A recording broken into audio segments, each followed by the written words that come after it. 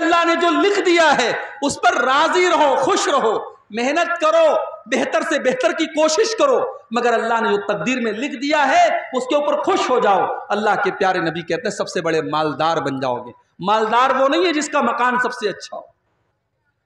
मालदार वो नहीं है जिसकी बिल्डिंग सबसे अच्छी हो, जिसका कपड़ा सबसे अच्छा हो। मालदार वो है जो चैन की नींद सोता हो, जिसके बच्चे बीमार न रहते हो, जिसके घर में किचकिच न लगी रहती हो, जिसके घर में टेंशन न रहती हो, अल्लाह के नबी ने कहा, तकदीर पर राज़ी हो जाओ, सबसे बड़े मालदार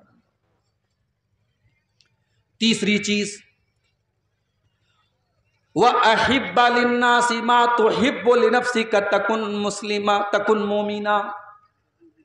और जो तुम अपने लिए पसंद करते हो, वही तमाम लोगों के लिए तुम पसंद करो, तुम मुसलमान बन जाओगे। तुम नहीं चाहते तुम्हारी बेटी को कोई गलत नज़र से देखे, तुम्हारी बहन को कोई गलत नज़र से देखे, तुम्हारी बीवी को कोई छेड़े। तुम भी दूसरों की बेटियों को, दूसरी की बहुओं को, दूसरों की बहनों को गलत नज़र से देखना बंद कर दो। तुम नहीं चाहते कोई तुम्हारी कीमत करे, चुगली करे, बुराई करे, तुम दूसरों की कीमत करना भी बंद कर दो।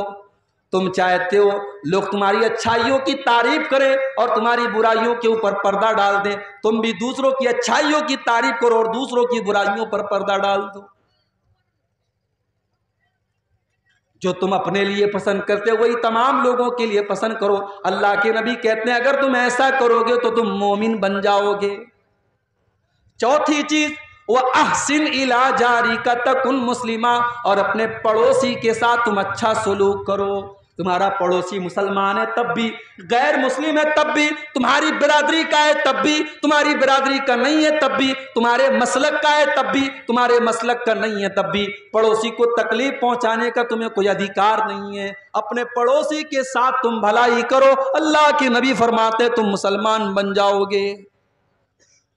और पांचवी चीज़, वाला तुक से का और अल्लाह के नबी फरमाते हैं कि तुम ज़्यादा हंसा मत करो, इसलिए कि ज़्यादा हंसने से फ़िन कसरत के तुमी तुल कलबा, ज़्यादा हंसने से दिल मुर्दा हो जाता है।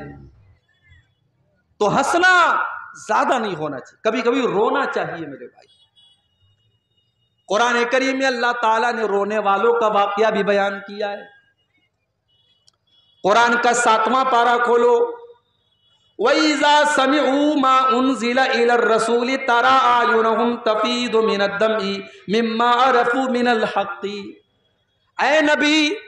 ईसाइयों के सामने भी जब कुरान पढ़ा जाता है तो ईसाइयों में जो नेक लोग होते हैं जो अच्छे लोग होते हैं वईजा सम उमा उन रसूल जब कुरान की तिलावत को वो सुनते हैं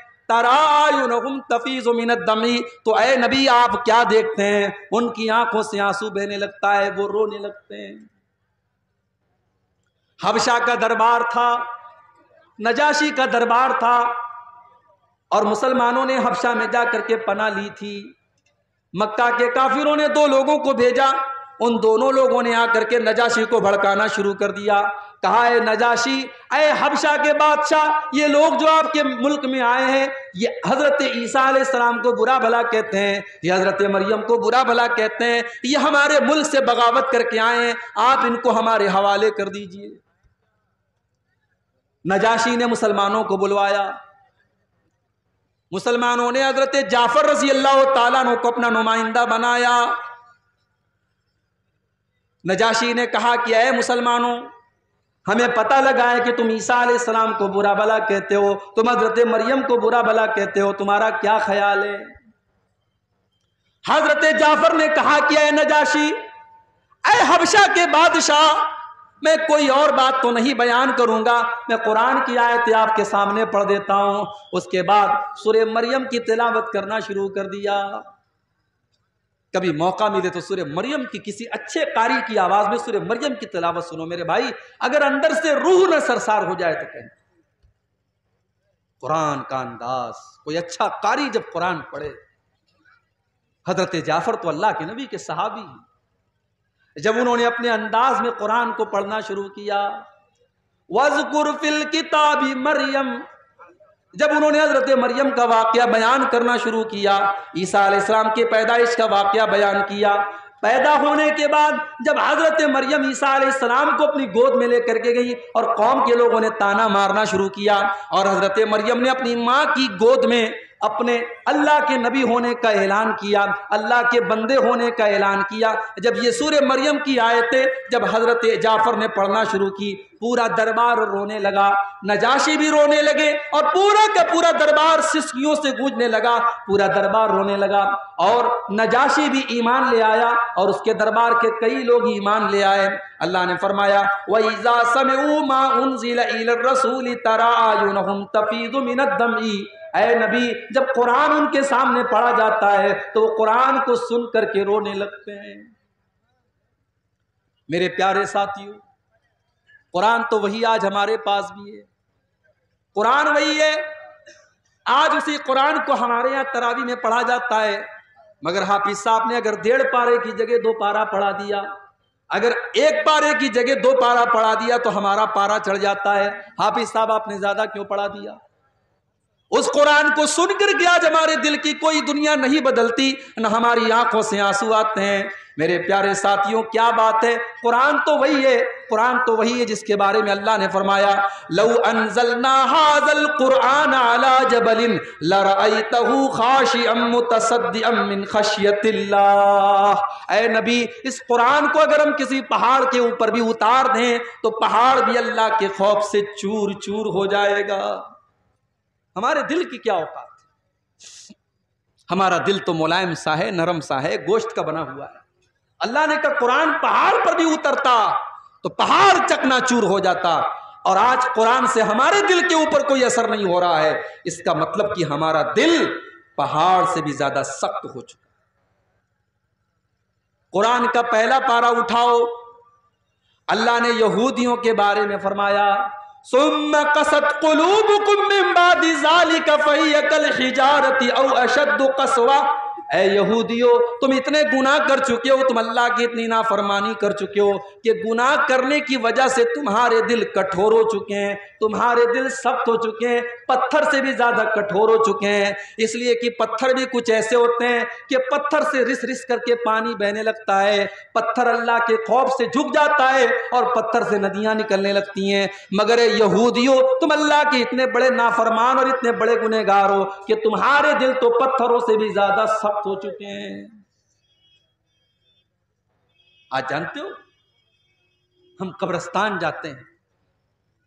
कब्रस्तान जाकर के भी हमारे दिल नर्म नहीं होते, हमारी आँखों से कभी आँसू नहीं आते। जनाजे में हम जाते हैं जनाजे को कब्र में उतारा जा रहा है और हम बैठ करके दुनिया की बातें कर रहे हैं। हम इंडिया पाकिस्तान के मैच की बात कर रहे हैं। हम विराट कोहली के शॉट की तारीफ़ कर रहे हैं। हम दुनिया की बातें कर रहे हैं। हम कब्रस्तान में खड़े होकर के दुनिया की बातें कर रहे हैं। मेरे प्यारे साथियों, ये कितनी सख्त दिली की बात है। कब्रस्तान तो वो जगह है जो हमारी औकात हमें बताती है, जो हमें हमारी आखरत बताती है, मगर हम तो इतने सख्त दिल हो चुके हैं कि कब्रस्तान जा करके भी हमें मौत याद नहीं आती। कब्रस्तान जा करके भी हमको आखरत याद नहीं आती। इब्ने माजा की रिवायत है, एक अंसारी सहाबी का जनाजा था। जनाजे को कब्र में उतारा जा रहा था। अल्लाह के प्यारे नबी अपने सहाबा को लेकर के कब्र के एक साइड में बैठे हुए थे। और बिल्कुल खामोश थे। और आप उस कब्र के बारे में सोच रहे थे। अचानक आपकी आँखों से आँसू बहने लगे। आप इतना रोए इतना रोए, हत्ता बल्लसरा आपके आंसुओं से वहाँ की ज़मीन भीग गई, ज़मीन तर हो गई। आपने अपने साहबा से फरमाया, ले हाजा या इखवानी, ऐ मेरे सहाबा, इस कब्र में तुमको भी जाना है, ये मंजिल तुमको भी देखनी है, ये जगह तुमको भी देखनी है, तुम इसकी तैयारी करो। ओ पूर्णिया में प्लाट बनाने वालों वो चौक में मकान खरीदने वालों वो करोड़ों की प्रॉपर्टी बनाने वालों कब्र में कोई प्रॉपर्टी काम न देगी, कोई दुकान काम न देगी, तुम्हारे घर का एसी काम न देगा, तुम्हारे घर का पंखा काम न देगा, तुम्हारे घर में लगाया गया इन्वर्टर काम न देगा, उस कब्र में तुमको भी जाना है, वहाँ तुम्हारा बेटा तुम्हारी मदद करने ना आएगा, तुम्हारी बीवी तुम्हें एक गिलास पानी देने ना आएगी। ले मिसले हाजा तू या अल्लाह के नबी अपने साहबा से कहते हैं अरे मेरे साहबा, इस कब्र में तुमको जाना है, तुम इसकी तैयारी करो। हमको तो कब्रस्तान जाकर के भी मौत याद नहीं आती। हमारी आँखों में कभी आँसू नहीं बहते कब्रस्तान जाकर उस्मान गनी को देखो ये अल्लाह के नबी के वो साहबी है जिनको अल्लाह के नबी ने कई मरतबा जन्नती कहा था। उस्मान गनी जब कब्रस्तान के पास से गुजरते थे और कब्रों को देखते थे, जारो कतार रोने लगते थे, आँखों से आँसू बहने लगते थे, पूछा गया कि उस्मान गनी, जन्नत की बात आती है तो आप नहीं रोते हैं? जहन्नम का तस्करा होता है तो आप नहीं रोते हैं? कब्रस्तान को देख करके क्यों रोने लगते हैं? कब्रों को देख करके क्यों रोने लगते हैं? उस्मान गनी कहते हैं, ओ लोगो, मैंने अपने प्यारे नबी, अल्लाह के प्यारे नबी को यह फरमाते हुए सुना है इन कब्रा अव्वल मंजिल